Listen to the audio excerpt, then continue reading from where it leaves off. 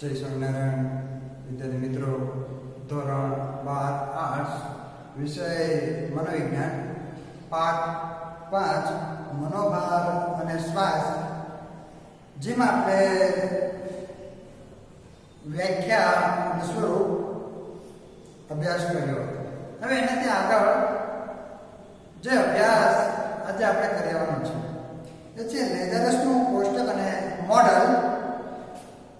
ઓગણીસો પચાસ ઓગણીસો સાઠના દશકામાં મનોવિજ્ઞાનીના વાર્તનિક અને અભિગમ વચ્ચે પોતાનું મહત્વ સાબિત કરવાનો વિવાદ થયો દશકો એટલે દસ વર્ષનો ગાળો. ઓગણીસો પચાસથી ઓગણીસો સાઠ નો જે દશકો હતો, આ દશકામાં વાર્તનિક અભિગમ અને બોધાત્મક અભિગમ વચ્ચે કોનું વધારે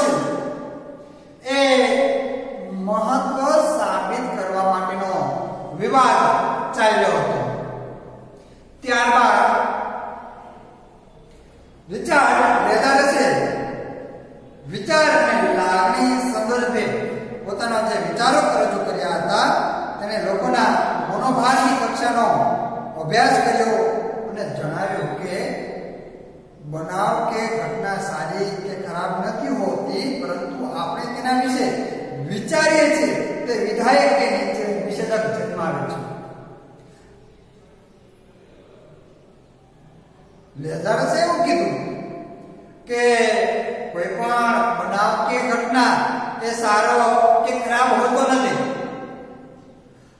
પરંતુ આપણે જે રીતે વિચારીએ છીએ એ બનાવ કે ઘટના વિશે નિષેધા કે વિધાયક નેગેટિવ કે પોઝિટિવ આપણે જે વિચારીએ છીએ એ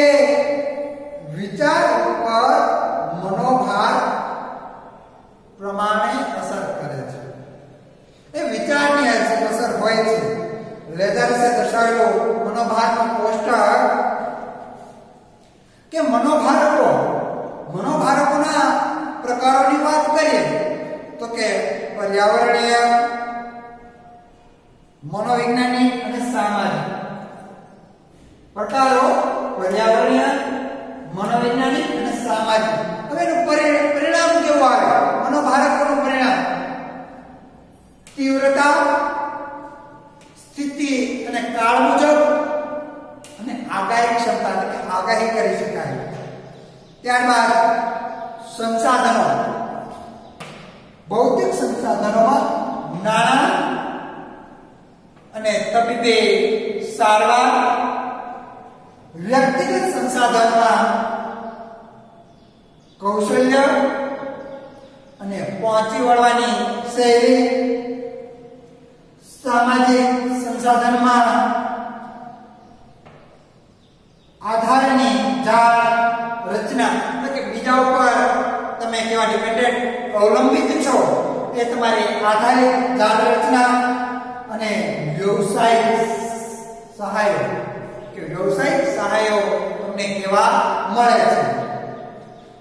વ્યક્તિગત લક્ષણો, શારીરિક લક્ષણોમાં શારીરિક સ્વાસ્થ્યતા, શરીરનો બાંધો, આંતરિક નિર્બળતા, મનોવૈજ્ઞાનિક લક્ષણો, મનોવૈજ્ઞાનિક સ્વાસ્થ્યતા, સ્વભાવ, સાંસ્કૃતિક લક્ષણોની વાત કરીએ તો સંસ્કૃતિ આપેલી વ્યાખ્યાઓ અને એના અર્થો અપેક્ષિત વર્તન શૈલી એના આધારે મનોભારકોનું મૂલ્યાંકન મૂલ્યાંકનના આધારે પ્રતિક્રિયાઓ કેવી પ્રતિક્રિયાઓ મળે છે શારીરિક પ્રતિક્રિયાઓ વાર્તનિક પ્રતિક્રિયાઓ આવેગાત્મક પ્રતિક્રિયાઓ અને બોધાત્મક પ્રતિક્રિયાઓ મળે છે જે આ લેધારસે આપેલું પ્રક્રિયાનું સૈદ્ધાંતિક મોડેલ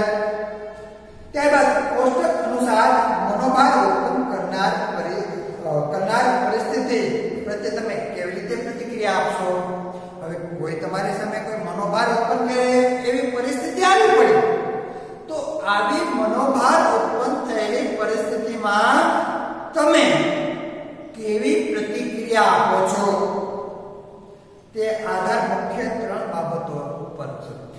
તમે જે પ્રતિક્રિયા આપો છો? એ પ્રતિક્રિયાનો આધાર મુખ્ય ત્રણ બાબતો ઉપર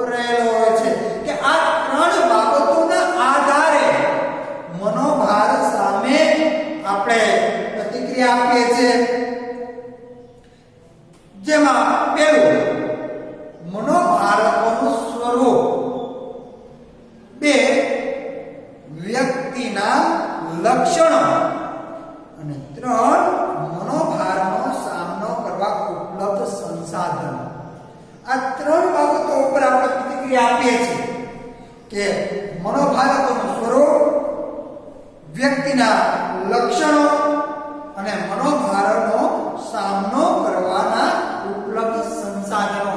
કે મનોભારને પહોંચી વળવા તમારી પાસે કેવા સાધનો છે, કેવી સુવિધાઓ છે? આ ત્રણ બાબતો જે છે એ મનોભાર ઉત્પન્ન કરનાર પરિસ્થિતિ છે એ પરિસ્થિતિ સામે આપણે પ્રતિક્રિયા આપીએ છીએ ક્રિયા કરીએ છીએ. જેમાં સૌપ્રથમ મનોભારકોનું સ્વરૂપ મનોભારને ઉત્પન્ન કરનાર વૈવિધ્યપૂર્ણ બાહ્ય અને આંતરિક ઉદ્દીપકના સમૂહને મનોભારકો કહેવાય છે મનોભાર ઉત્પન્ન કરનારા એટલે કે મનોભાર જ્યાંથી ઊભો થાય છે મનોભાર ક્યાંથી આવે છે મનોભાર એટલે સ્ટ્રેસ એ ઉત્પન્ન કરનારા આંતરિક અને બાહ્ય એટલે કે ઘણી વખત મનોભાર વ્યક્તિના આંતરિક ઘટકોમાંથી ઉત્પન્ન થાય છે અને ઘણી વખત મનોભાર માટે બાહ્ય કારણો પણ જવાબદાર હોય છે તો એ આંતરિક અને બાહ્ય જે કારણોનો જે સમૂહ જે છે એ સમૂહ, આ સમૂહને મનોભારકો કહેવાય છે. ને મનોભારકો મુખ્ય ત્રણ પ્રકારના હોય છે. મનોવૈજ્ઞાનિક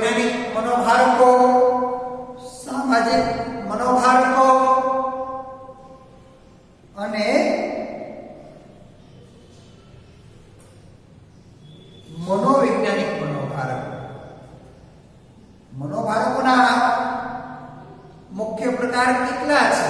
તો મનોભારકોના મુખ્ય ત્રણ પ્રકાર છે.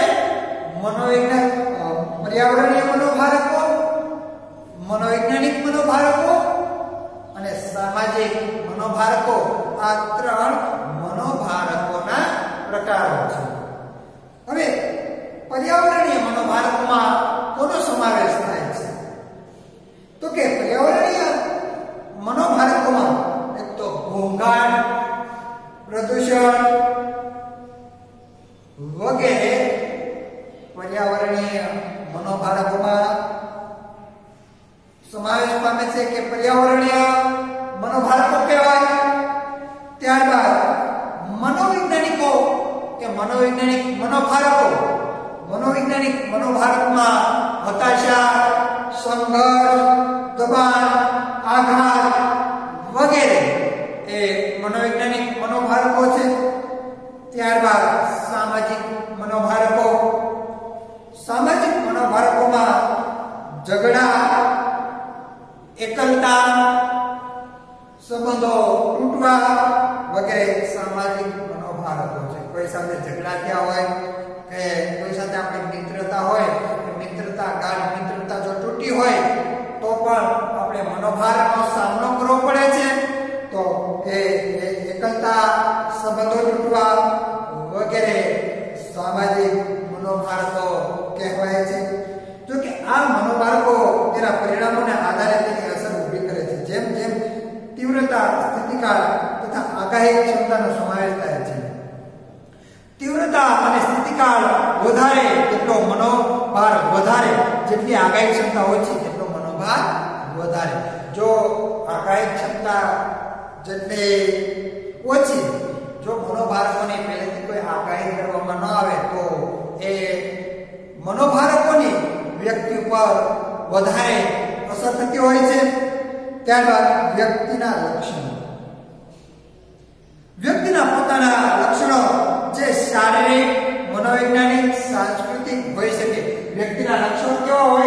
શારીરિક, મનોવૈજ્ઞાનિક અને સાંસ્કૃતિક લક્ષણો. શારીરિક લક્ષણો એટલે વ્યક્તિનું શારીરિક સ્વાસ્થ્ય, શરીરનો બાંધો, શારીરિક ક્ષમતાઓ અને આંતરિક નિર્ભરતાઓ. બીમાર વ્યક્તિ નબળો શારીરિક બાંધો ધરાવતી વ્યક્તિ અને ઓછી શારીરિક ક્ષમતા ધરાવતી વ્યક્તિ અન્ય સ્વાસ્થ્ય વ્યક્તિઓની સરખામણીમાં વધુ મનોભાર અનુભવે છે. મનોભાર કોણ વધુ અનુભવે? કે જે શારીરિક ખામીઓ ધરાવે છે શારીરિક ક્ષમતાઓ જેનામાં ઓછી હોય છે, નિર્બળ લોકો, બીમાર વ્યક્તિ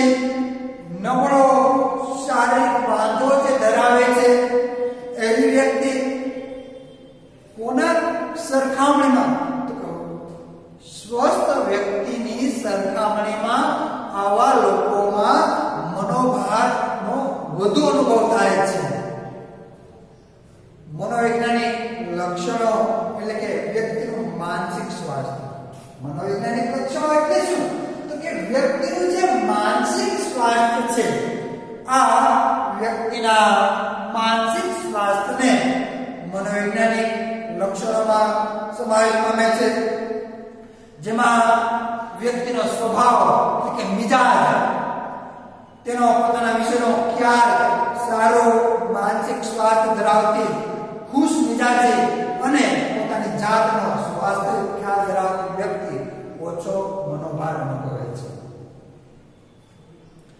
અને છેલ્લે જે સાંસ્કૃતિક લક્ષણો. સાંસ્કૃતિક લક્ષણો એટલે સંસ્કૃતિએ આપેલી વ્યાખ્યાઓ અને અપેક્ષિત વર્તન છે.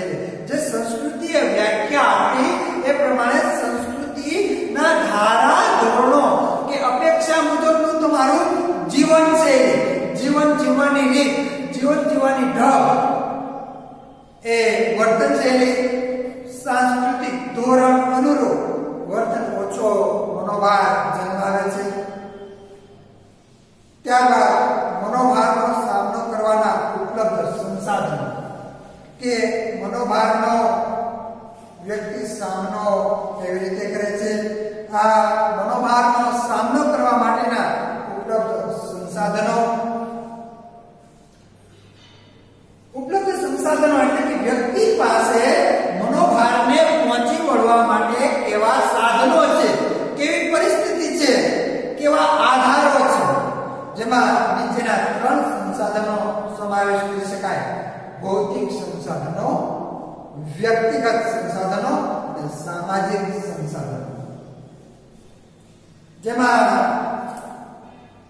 ભૌતિક સંસાધનોની આપણે વાત કરીએ, તો ભૌતિક સંસાધનો એટલે નાણાં, તબીબી સંભાળ અને ભૌતિક સુવિધાઓ. વ્યક્તિગત સંસાધનોની આપણે વાત કરીએ, તો વ્યક્તિગત સંસાધનોમાં આવડત કુશળતા, પરિસ્થિતિને પહોંચી વળવા માટેની સૂઝ સામાજિક સંસાધનોની વાત કરીએ તો સામાજિક સંસાધનનો આધાર કુટુંબ, સ્વજનો, જ્ઞાતિ મંડળો તરફથી જે મળતી સહાય કે વ્યવસાયિક સહાય વગેરેનો સમાવેશ થાય છે.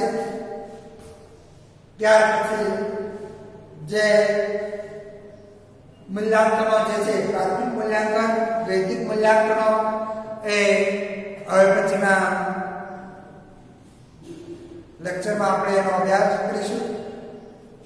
તમારે વિદ્યાર્થી મિત્રો, જે લેધરસે આપેલું પ્રતિમાન પ્રક્રિયાનું મોડેલ જે છે, એ તમારે તમારા હોમવર્કમાં કરવાનું રહેશે.